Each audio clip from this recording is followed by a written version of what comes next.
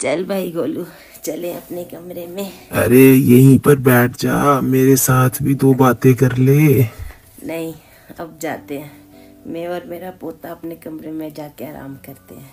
नई नई शादी हुई थी ना बाकी लड़कियों की तरह मैंने भी बहुत सारे सपने देखे थे। पर वो सपने कहीं ना कहीं घर के काम में और बच्चे पालने में ही चले गए। बहुत मन करता था। आपके साथ बैठने का बातें करने का चाय पीने का। पर आपके पास वक्त ही नहीं होता था। तरस जाती थी आपके साथ दस मिनट बैठने के लिए। सिर्फ़ दस मिनट मांगती थी आपसे। पर कहाँ थे आपके पास वो दस मिनट?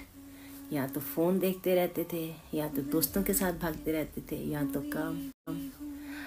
आज आपके पास वक्त ही वक्त है, पर मेरे पास मन ही नहीं है। याद है आपको? अपने शौक के लिए मैं आपसे पैसे मांगा करती थी, और आप कभी नहीं देते थे। और शौक की उम्र में मैंने नहीं देते थे। और शौक की उम्र में मैंने सब्र करना सीख लिया। अब पैसे हैं, पर शौक ही नहीं है। कोई भी चीज़ वक्त के साथ ही अच्छी लगती है। वक्त पर दे भी नहीं देते थे।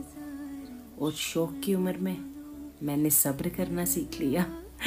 अब पैसे हैं, पर शौक ही नहीं है। कोई भी चीज़ वक्त के साथ ही अच्छी लगती है। वक्त पर दे दी तो आज मैं इतनी कठोर नहीं बनती।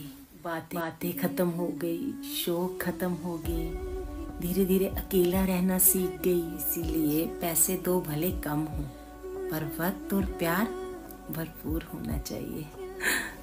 चलती हूँ।